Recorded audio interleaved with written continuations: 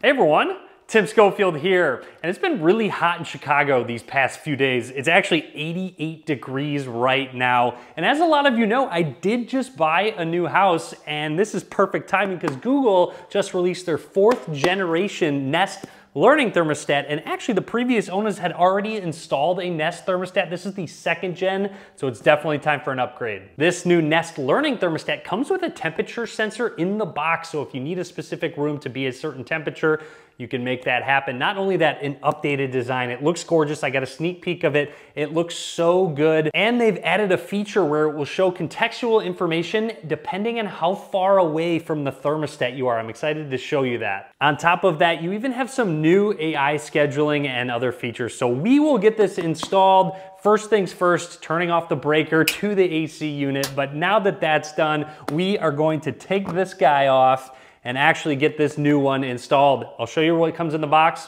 Let's get started. Here's the new Nest Learning Thermostat with temperature sensor. This is the polished silver color and huge. It does have Matter support as well. By the way, with the new house, you're gonna be seeing a lot more smart home videos from me, so be sure to subscribe. Anyways, opening up the box. Let's see what we get. Oh man, that's so clean. A much bigger screen. We're going to set our thermostat for, to the side for just a second.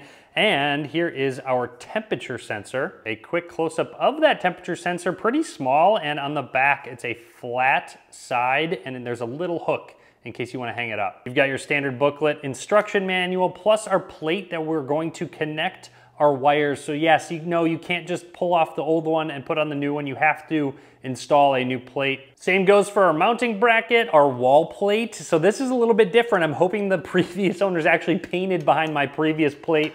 We'll find out in just a second. And you also get your screws as well to mount everything. And onto what you actually came to see, our new Nest thermostat. Check out how the reflections are just a little warped in general, which really gives it that sort of spillover look um, kind of like an eyeball, a fisheye type of look. It's really cool and unique. I'm excited for you to check it out. And just to look at our sensors on the back. Make sure to note where all the previous wires were installed. You can label them if necessary. With all the wires disconnected, let's take this plate off.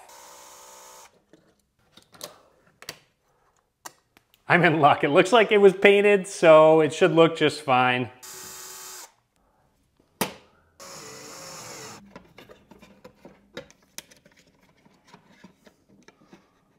So we have the metal backplate installed. Now we just need to connect everything with our included screws. You'll also notice there is a bubble level, so make sure that's level before you tighten everything.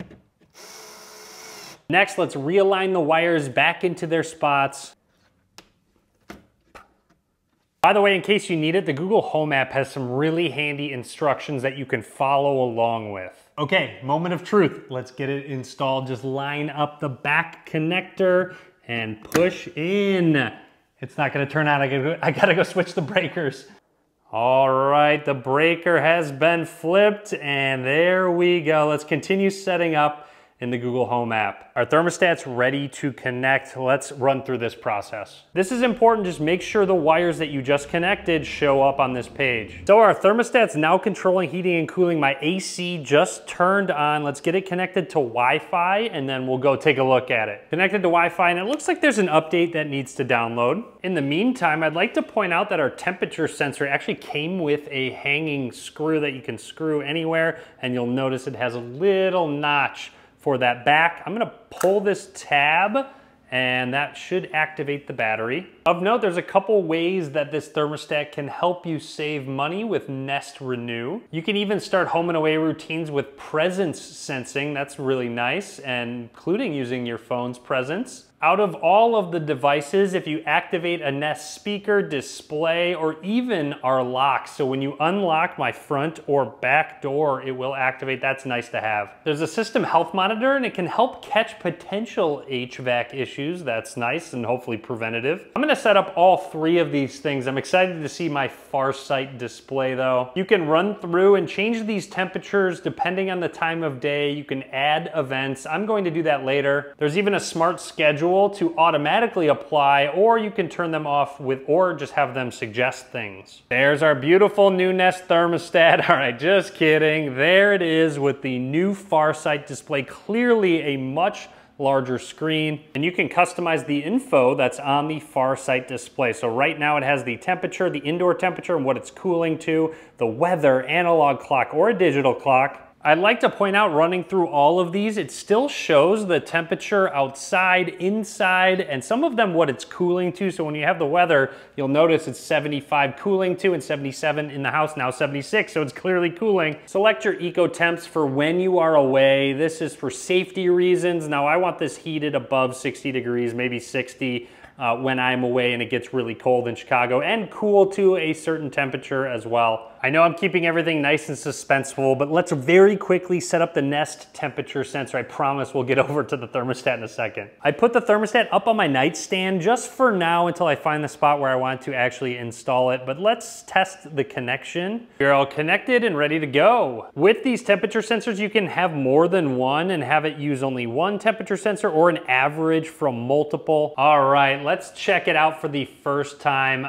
If you start turning the dial, really, really nice feel to it and nice little subtle animation with the numbers. Pressing on the screen will get you to your menu. You can change the mode. You can switch to eco using the thermostat if you want to set the timer on the fan or go into settings. Within settings is where you can customize the far sight, but you can also customize not just the face with all of those different options uh, like we had mentioned before. However, that's when you're far away. Now, what happens when you get a little closer? When you're near the screen, you get all of that other information that pops up. I'll test this out in just a second, but you can actually customize what is shown on the right.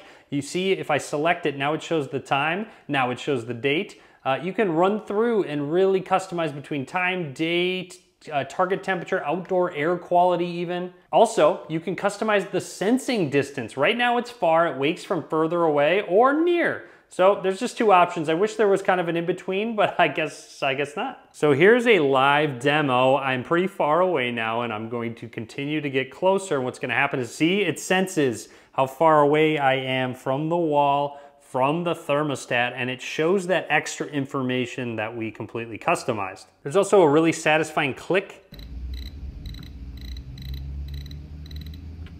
I do think realistically the weather one is probably the one I'm going to stick with. And again, when you get closer, this is actually the temperature, what it actually feels like outside. So that's nice to have. And of course, our settings for inside, outside. Oh, and it will switch depending on the time of day uh, of what the weather is going to be like in the future. That's awesome. But anyways, that is it from me for now on the new Nest Learning Thermostat. I'm gonna have to mess around with it and hopefully it learns from my habits, uses that temperature sensor, maybe saves me some money on my energy bill. Be sure to drop a comment. A lot more content coming soon, smart home content for sure. So be sure to subscribe so you're notified when that goes live. And as always, thanks for watching.